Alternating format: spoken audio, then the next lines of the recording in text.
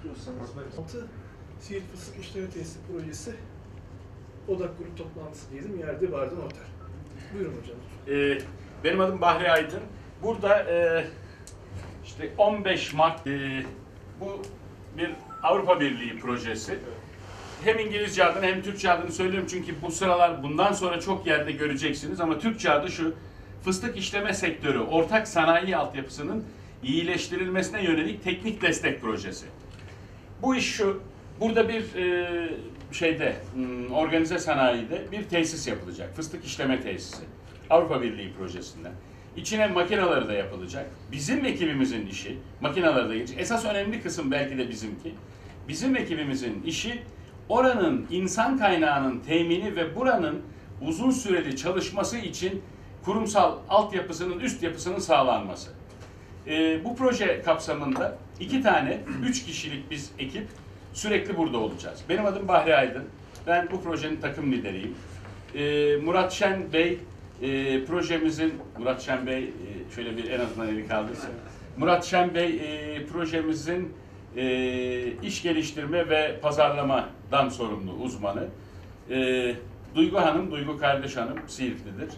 E, Duygu Hanım da projemizin ofis yöneticisi. Biz üçümüz sabit kadroyuz. Ama bu projeyi biz üçümüzün danışmanlığında yürütmeyeceğiz. Biz üçümüz organizasyonu sağlayacağız.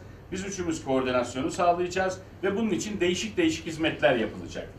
24 aylık bir proje.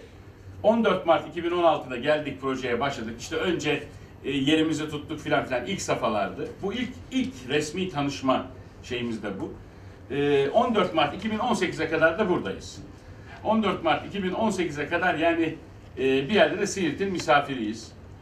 Kayıtlarımız burada, işlemlerimiz burada. Siirt ve ilçelerindeki e, fıstık üreticileri, fıstık işleyicileri, fıstık satıcıları e, bu projenin e, sahibi. Fıstık Siirt Fıstık Üreticileri Birliği bu projenin yararlanıcısı. Yararlanıcısı demek şu. Avrupa Birliği projelerinde bu projenin sahibi Sanayi Bakanlığı. Avrupa Birliği projelerinde projenin buradaki koordinasyonunu yürüten bir kuruluş olmak zorunda. Bu ticaret odası da olabilirdi. Siirt Fıstık Üreticileri Birliği. Siirt Fıstık Üreticileri Birliği e, bunun koordinasyonunu sağlıyor ama sahibi değil. Onu söyleyeyim. Sahibi bu projenin Sanayi Bakanlığı. Biz de bunun e, işlemlerini yürüten firmayız. Şimdi yapılacak işlemler şunlar, bunlar bizim için önemli. Bu bizlerle ilgili biraz şey, e, bilgi. Neler sağlayacağız? Bu proje neler sağlayacak? Bir bir kere ana amaç Siirt ekonomisine katkı sağlamak. Siirt fıstık sanayinin gelişimine katkı sağlamak. Ortak kullanım tesisi. Adı çok önemlidir. Lütfen buna şey yapalım. Ortak kullanım tesisi. Yani bu fıstık üreticilerinin ortak kullanacağı tesis olacaktır. Hedefi de bu. Fıstık üreticileri, fıstık işleyicisi, fıstık satıcısı. Bunun içinde paketlemesi var, bunun içinde hijyenik işlerinin yapılması var. Buyurun. Şimdi burada yani adını yazan var mı? Böyle, böyle değil. Bu adı adı yazma değil. Şimdi biz bu tesisi sizlere e, şöyle daha sonra mı olacak? evet bu tesisi sizlere tanıtmaya çalışacağız. tanıtıyorsunuz. Ha, daha bu ilk şeyimiz. Bu tesis Gelen arkadaşlar da çok az yani. Daha gelecektir. Gelecektir. Hiç ümidi kesmeyelim. Yani e, gelecektir. Sayımız artacak. İnşallah. E, bütün Siirt'e, bütün ilçelerine tanıtacağız. Nihayetinde siz belki de işleminizi yaparken e, orada belki ortak marka çıkartma yoluna gideceksiniz. Belki sizler vereceksiniz kararı. Biz sizlere bu tesisi tanıtmakla yükümlüyüz. Bu tesisi tanıtıp ortak kullanıma açmaya çalışacağız. Ve nihayetinde de bu tesisin uzun süreli çünkü Avrupa Birliği projelerinin en önemli fonksiyonu sürdürülebilir olması. Yani biz 15 Mart 2018'de gittik. Haydi bakalım bizden sonra tufan. Ha, öyle bir sistem kalmalı ki o sistem kendi kendini döndürmeli. Çok zor. Çok zor. Yani bizim iş yapma ahlakımızın içinde çok zor olduğunu biliyorum. Ee, ama ortak kullanım, Türkiye'nin şu anda bir sürü yerinde ortak kullanım atölyeleri açılıyor. Ortak kullanım tesisleri değişik konularda. İnşallah Siirt'te de e, olacaktır bu. Neler yapıyoruz? Şu anda sizlerin de dahil olduğu 60 tane KOBİ ile tanı çalışması yapıyoruz. Yani nedir bu şirketlerin durumu, nedir bu işletmelerin durumu? Onlara daha iyi hizmet verebilmek için Bir kere sıkıntılarını anlamamız lazım. Ve nihayetinde bu fıstık işleme tesisi için iki tür iş planı hazırlayacağız. Birinci yöntem şu. Böyle olursa ne olur anlatacağız. İş planı dediğimiz o oranın, o işletmenin, orası bir işletme olacak. O işletmenin yaşaması için. Bir, tüm üreticilerin bütün e, fıstığını oraya getirip orada işleyip oradan oranın markası altında sattığı bir model. Bunun artıları, eksileri, getirdikleri, götürdükleri bunu sunacağız. İki, e, üreticiler o tesise getirip belli işlemlerini yaptırdı. Yani orada hijyenik paketleme, stoklama, e, kavlatma, kırma e, ya da e, içinden Fason çalıyor. e, fason çalışma. Bu da olabilir. Her iki şekilde biz önerilerimizi çıkartacağız sonra oturup konuşacağız. Bu mu işimize geliyor, bu mu işimize geliyor diye. Bunları yapacağız ve nihayetinde bu ürünlerin pazarlanmasına yönelik sistemi oturtmaya çalışacağız. Mayıs-Kasım ayları içinde işte şu anda arkadaşlarımızın e, yaptığı pazar araştırması yapacağız. Şimdi bununla ilgili yurt içinde size daha detaylı anlatacaklar. Yurt içinde ve dışında bu ürüne pazar ne durumda? Sizler biliyorsunuz ama hep, hep hedefimiz 5 yıl sonra, 2 yıl sonra, 3 yıl sonra artı ana sorunumuz İran fıstığı. Pazarlama dediğimiz şey pazarın Siirt fıstığı hakkında bilgilenmesi. Siirt fıstığını biz biliyoruz ama bizim bildiğimizin 50 katını siz biliyorsunuz. Biz gelip Siirt fıstığını burada yiyince ha ulan Siirt fıstığının farkı buymuş diyoruz ama gelip burada yemek lazım bu mereti. Ya da sizin bana Ankara'da bu mereti yedirmeniz lazım. Siirt fıstığı aha budur diye. Biz bunu araştırmamızı daha da öteye götürüp Avrupa'nın değişik ülkelerinde, Amerika'da, Uzak Doğu'da filan nerelerde ne istiyor diye bunu araştıracağız. Artı şuna bakacağız. Sonunda şu çıkacak belki. Arkadaşlarımın işlerine müdahale ediyorum ve onları belki zora sokuyorum ama nihayetinde belki şu çıkacak. Hollanda bizden 50 gramlık paketler istiyor. Bir dönem bir arkadaşım Angola'ya çekirdek sattı tonlarca. Niye? Çünkü Angolalılar 20 gramlık paketlerde çekirdek istermiş ve orada 20 gramlık pakette çekirdek gönderen yokmuş. Bu adam bunu gördü, tonlarca çekirdek sattı. Bunu araştıracağız ve nihayetinde gelip bunları söyleyeceğiz. Bak Hollanda şunu istiyor. İşte ne bileyim Kuveyt'e vermek için şöyle oluyor. Siz belki oralarla görüşmeler yaptınız. Bu görüşmeleri daha detaylı nasıl yapacağız diye pazar araştırmasını yapacağız. Bugün ilk toplantısını yaptığımız şeyin. Ee, daha sonra Ekim 16 ile Şubat 2018 arasında işte bu tesisin insan yapısının güçlendirilmesini sağlamaya çalışacağız. Belki fark ettiniz, belki gördünüz. Şimdi tesise yönetici aranıyor. Bir tesis, buyurun e, tesis yöneticisi aranıyor diye bir ilan çıktı. Şu anda tesisin e, tesise yönetici adayı olacak kişiyi arıyoruz. Valiliğin sitesinde çıktı, gazetelerde çıktı. E, Ticaret Odası'nın sitesinde çıktı. 13 e, Temmuz'a kadar adayları bekliyoruz. Şu ana kadar 10-12 tane aday geldi. Çok da güzel insanlar müracaat etti. Dolayısıyla o tesisin bir kere iyi bir yöneticisinin olması lazım. Aman ha buralarda elinizi çekmeyin. Aman ha tanıdığınız varsa önerin. Aman ha e, yani torpil yapın demiyoruz torpil olmayacak çünkü. Ama en azından biz orada bakalım, eleyelim, uygun adamı bulmaya çalışalım. Çünkü bu adamı biz iki sene yetiştireceğiz. Yetiştirebileceğimiz adam olacak. Ee, onun seçimini yapacağız. Daha sonra e, buranın pazarlama müdürünü, buranın muhasebe müdürünü, buranın işletme müdürünü, buranın üretim müdürünü ve burada çalışacak insanların seçimini yapacağız. Ee, ve bunların eğitimlerini yapacağız. En sonunda da bunların çalışma kitaplarını hazırlayıp ellerine vereceğiz. Bunları eğiterek. Arada şöyle bir şeyler yapacağız. Uluslararası, ulusal çalışma ziyaretleri yapacağız. Gaziantep'i ziyaret edeceğiz. Gaziantep'i ziyaret edeceğiz deyince fıstıkçılarda şöyle e, kusura bakmayın yaslanıyorum. E, dediğim gibi belden o sorunu halledeceğim. E, Gaziantep'i diyoruz mesela hemen bize fıstıkçılardan şöyle şey geliyor. Ya biz Gaziantep'i biliyoruz. Bilmiyorsunuz. Hakikaten bilmiyorsunuz. Gaziantep'i başka türlüsüne bakacağız. Adamlar nereden alıyor'a bakacağız. Adamlar da Gaziantep'te fıstık yokken Urfa'dan fıstık alıp, Siirt'ten fıstık alıp da Gaziantep fıstığı diye markayı nasıl yapmışlar? Buna bakacağız. Gaziantep'in işlerini azaltmak değil hedefimiz. Gaziantep'le rekabet etmek değil hedefimiz. Hedefimiz beraberce belki daha iyi yapmak. Artı Bursa'da e, ha, ha, Bursa'da e, neler oluyor neler bitiyor. Bursa'da üretilen bir sürü şey var. E, mesela Bursa'nın meşhur kestane şekerini yemişizdir. Duymuşuzdur. Peki kestanenin ana vatanının Bursa mı? E, Değil. Kastamonu, e, An- e, e, şey, e, Kütahya, Aydın, oralardan geliyor ama biz Bursa'nın meşhur kestane şekerini yiyoruz. Biz Çorum leblebisi yiyoruz. Çorum'da nohutun no, neysi yok yani. Yok. Ama markası oradan olmuş. Dolayısıyla Bursa bunu nasıl yapmış, neler yapmış gidip oradan görmeliyiz. Yarın öbür gün biri de gelip bizim Siirt fıstığını alırsa ulan bunun en iyisi bizde ha şimdi tavşanlı tunç bilek nohutun hası bende diyor. Geçmiş ola. O biz Çorum leblebisi yiyoruz. Sen artık tren gitti.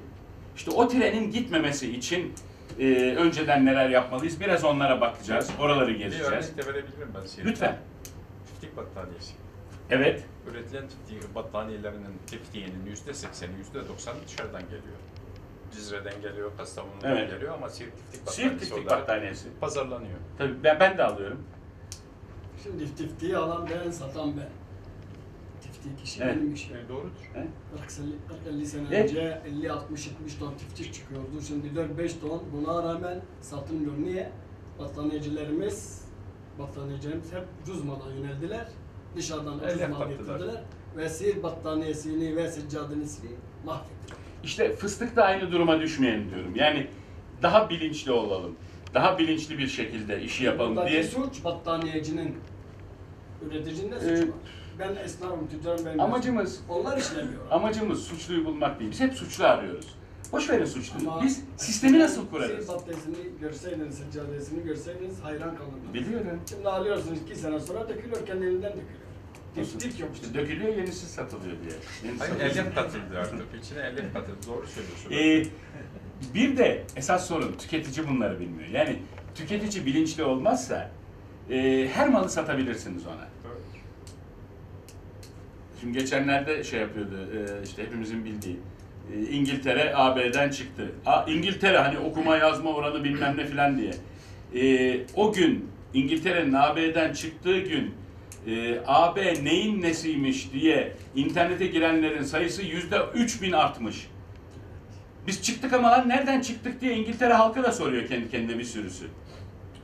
Niye o da bilmiyor. Bizde de öyle. Yani tifti tüketici bilmiyor ki. İşte bu gezilerle e, bunları yapacağız. Artı fıstık üreticisi, fıstık işleyicisi tesislerle birebir çalışacağız. Birebir onların hedeflerini çıkartıp neler yapıyorlar, nerede yapıyorlar, ne yapmalılar, onun gücünü geliştirmesi için ne yapmalı, onu sağlamaya çalışacağız. Ee, ve biz gittikten sonra da burada eğitimlerin devam etmesi için belli eğiticiler yetiştireceğiz. Pro- proje ana hatlarıyla bu. Bu tesisin ana sahibi sizlersiniz, üreticiler ve işleyiciler. Ne kadar sahip çıkarsanız. Şimdi burada bu işleri yaparken pazar araştırması konusunda iki tane arkadaşımız var. Ee, Oğuzhan Bey ile Özgür Derin Bey.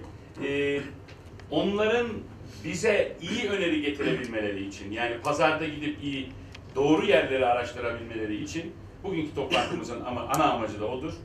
Ee, sizi esas tanımak istiyorlar. Yani sizin e, işleyişiniz, sizin sisteminizin yürüyüşü nasıldır? Ona bakmak istiyorlar. Ben oturuyor ve sözü daha genç arkadaşlarıma bırakıyorum. Bu arada şöyle bir e, şeyimiz de var. Bunu da katılım formu olarak imzalarsak isimlerinizin yanına orada da mutlu oluruz. Buyurun deyip Özgür Bey'e ya da Oğuzhan Bey'e sözü bırakıyorum. şey, bir şey eklemek Heh, istiyorum. buyurun. Birincisi bu e, projenin önemi şöyle bir şey. Şimdi yapılan çalışmalara baktığınız zaman e, dünyanın en büyük, en kurumsal firmalarının yaptığı harcamalar, pazar araştırmaları, personel eğitimi, kurumsal yönetim ilkeleri, çalışan personel eğitimi, paydaşların eğitimi, büyük paralar, büyük zaman, büyük emek isteyen işlerdir. Bunların hiçbirine tek kuruş para harcamadan bu bilgiler, o şeyler hepsi burada kalacak. Ve aleyküm selam, hoş geldiniz. Bu tarafa doğru da gelebilirsiniz. Evet, böyle de gelebilirsin. Ben şöyle başa da 40 bin, 50 bin, 60 bin, 70 bin euroyu buluyor. bir personel eğitimlerine bakarsanız, hobilerin eğitimine, iş planı hazırlamasına bakarsanız dünyanın tarısı tutuyor. Bunların hepsi Siirt'te bu tesise ücretsiz olarak veriliyor. Onun için e, önemi çok büyük. Tamamen bilimsel, yani bir doktora tezi gibi bir e, büyük bir e, ilin çalışma yönteminin belirlenmesi, geleceğinin şekillenmesi gibi bir şey. Anlatabiliyor muyum? Onun için çok önemli. E, çünkü bir e, Apple'a. Apple'da aynı yöntemi, aynı masraflarla yapar. O da Avrupa şeyi. Sony veya Samsung aynıdır. Hiçbir şey fark etmiyor. Bizim bu testte yaptığımız işlemler de aynıdır. Bu sektöre aynı tedavi uygulanacak. Aynı tanı çalışmaları yapılacak. Aynı şekilde yönetilecek. Bir fark olmayacak. Apple'ın yönetimiyle buradaki testin yönetimi arasında bir fark olmayacak. Çünkü o şekilde kurumsallaştırılıyor. Anlatabiliyor muyum? Önemi buradan kaynaklanıyor. Şimdi bunu söyleyince ben Apple nereye biz nereye. Doğru. Doğru Apple nereye biz nereye. Ama biz de yaparsak Apple nereye biz nereye biz de aynı yerdeyiz olur. Abdülkadir'e de geçerse. Affedersiniz, işte. şimdi Siirt Fıstık Üreticileri Birliği var, hepimiz biliyoruz. Bunlar, bu birlik üyelerine gerekli indirim yapıldı mı? Böyle bir şey. Yani önce, önce aslında Metin abi izin verirse siz kendinizi tanıttınız ama biz kendimizi tanıtmadık. He valla Şimdi haklısın. olur, işte arkadaşımız başlarken onu yapacak Biraz zaten. Buyurun. Sırayla böyle gidelim. Nihat Avcı, Avcı Fıstık e, ortaklarından. Evet. Bey geldi. Abdülkadir Yeğenim. O Yeğenim. Diyarbakır. Satan sizsiniz. Siz de 70 liraya satıyorsunuz değil mi onlara? Yok yok. Onlara biz 39'a falan. Evet. Onlar da bize 79'a satıyor. Doktorcunun böyle Market bir fiyatla satma şansı yok. Yani bazı firmalara biz e, 41 1 TL'ye verdiğimiz fiyatları onlar 90 TL'ye satıyorlar. Demek ki alıcısı var. Araya bir de Siirt fıstığında şey, İran Domatesin fıstığında. tarladaki fiyatıyla manavdaki fiyatı bir, bir, bir olay var diyorlar. Evet. Subat Yıldırım er, ben fıstık toptancılığını yapıyorum. Yani alıp satıyorum toptan Biraz da kavurma yapıyorum. Kavurmayı da yapıyorum. Avcılar. Avcı şey tesis. Ben dahili ticaret İşleme çalışıyorum. tesisi. Ben dahili çalışıyorum. Dahili ticaret. Yani yurt içi. Yurt dışı pazarları. Ramazan Özgürüzü Mansur Bey'miş. Toptan para. Ee, buradaki ilk tanıdığımız fıstıkçı Ramazan ee, Bey. Evet. Ee, mutlaka daha iyisini başka yerlerde buluyoruzdur. Ama öyle bir manevi bağımlılığımız var ki yani geçenlerde bir yerde acil gidiyor Ankara'ya gidiyorum. Giderken bir yerden fıstık alacağım. Ee, Ben 250 gram aldım. Fıstığı nereye saklayacağımı bilmiyorum. Ulan körün taş dedim. Ya bu beni Ramazan görüverirse yolda. Ee, yani, yani insan karısına ihanet etmiş gibi ya. Yani, e, gitmişim ben bütün hayatım boyunca buradan almışım. Adam arkadaşım olmuş, şeyi yapmış. Bir başka yerden alıp da ihanet etmiş gibi oluyor. Görürsen bil ki çok acil işim vardı. Onun için almışım. Ben ihanet edeceğim ama abi. Ben Mehmet Nedim Yürek üretici ve kira, kiralıyoruz ağaçlar. Siz kendiniz üretiyorsunuz. Ben kiralıyoruz ağaçlar. Kendi bahçeleri var bir de icare yapıyor. Ticari. Evet. Metin Arıtürk, Siirt Gazetesi sahibi. Ayhan Mergen, Kanal 56'nın genel yayın yönetmeni. Haber 56 gazetesinin de genel yayın yönetmeni. Ee, sizden şöyle bir şey de e, nasıl olur soralım şimdi hepimizin arasında. Ee, şey yapalım. Bu programın ilerleyen safhalarında e, hatta baştan da başlayarak böyle bir kanalın mutlaka izlenirliği var. Ben görüyorum da e, bizim evden de alınıyor. E, orada da bize bir toplantı, e,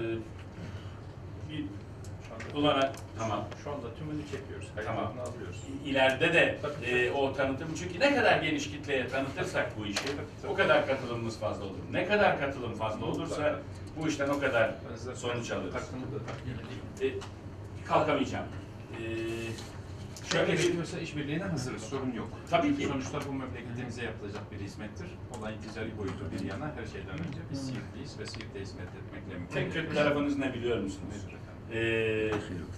E, Ben ben Diyarbakır doğumluyum. Senelerce de doğuda yaşadım. Yani e, bu projeyi de özellikle önümde iki tane seçenek varken bunu seçtim. Yani Kastamonu mu, e, Siirt mi idi? Ben Siirt dedim. E, bakanlıktaki şeyler hayır dediler. Yani nereye gideceğinizi soruyoruz dediler. Seçtiğiniz yeri. Tamam dedim Siirt. E, senelerdir de doğuda yaşayan bir adam. Doğu'nun şöyle bir özelliği var. Bizler doğuda çok misafirperver insanlarız. Çok. Fakat e, şeye geldi lazım. Yani bir arada iş. Niye yapamıyoruz bir arada iş? Kooperatifleşme ruhu yok bizim insanlarda. Ama tek tek hepimiz Kahramanmaraş'ta vesairede adamlar sermayelerine göre bir iş kuruyorlar. Bir 100 milyar koyuyor, biri 10 milyar koyuyor. Ona göre de beş kuruş parası olmasın evde. Bey, Beş kuruş parası olmadan beni misafir ediyor. çekememezlikten ileri geliyor. Çekememezlik. Da olamıyor. He? İşte bir şey son